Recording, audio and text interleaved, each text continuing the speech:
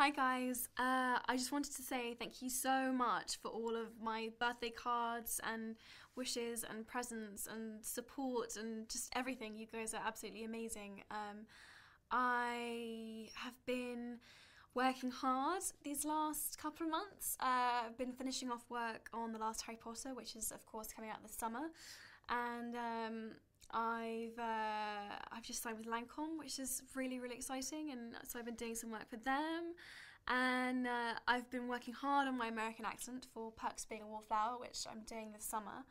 Um, so yeah, it's it's uh, it's turning out to be quite a big year in a way, and uh, I just want to say thank you so much for you know all of your continuing support. You know, you've been um, absolutely amazing and and and uh, a real comfort, and I'm I'm very grateful to you all. Um, I'm 21, crazy, crazy. Uh, just thank you so much.